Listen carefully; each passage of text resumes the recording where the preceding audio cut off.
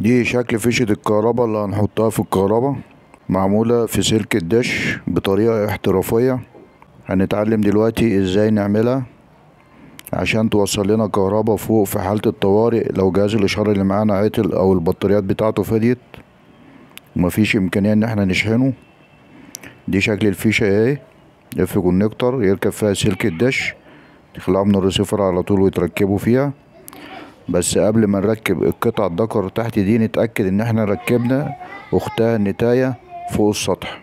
الفيديو دوت هيتعلم منه فنيين الدش ولو أنت هاوي وعندك خلفية تظبط الطبق بتاعك الفكرة دي هتنفعك وهتكون مفيدة ليك جدا في توصيل الكهرباء فوق السطح. الأدوات المستخدمة اتنين ان تي هي اسمها كده ان تي اتنين F connector قطعتين سلك دش بطول عشرين سنتي. اتنين فيشة واحدة ذكر وواحدة أنثى. اتبع شرح صنع الأداة.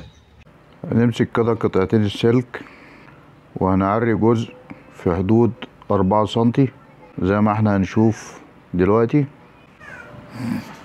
هنقشر جزء كده من السلك حوالي أربعة سنتي. وبعد ما عملنا الطرفين كده هنبتدي نركبهم في الفيشة واحدة في الذكر وواحدة في الأنثى. وبعد ما ركبنا الفيشة بنركب ال F connector وبعد كده بنركب فيه ال تي زي كده عشان نركب فيها سلك الدش. وبكده نكون خلصنا القطعتين. القطعة اللي هتركب فوق والقطعة اللي هتركب تحت. وملحوظة لازم نتأكد إن القطعة اللي فوق اللي هي النتاية ركبناها الأول قبل ما نركب الذكر تحت.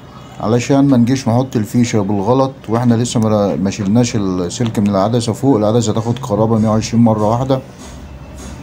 لازم نتأكد إن إحنا ركبنا الفيشة النتاية فوق الأول. وبعد كده بنشيل سلك الدش ونركبه زي كده.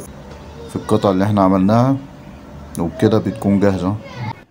هي كده هنجيب شريط لحام وبعد ما غطيناها بشريط لحام كده الفيشة هتبقى جاهزة معانا إن إحنا نحطها في الكهرباء. بس قبل ما نحطها في الكهرباء نتأكد من حاجة كويس جدا. نتأكد إن الفيشة اللي فوق السطح ركبناها الأول قبل اللي تحت.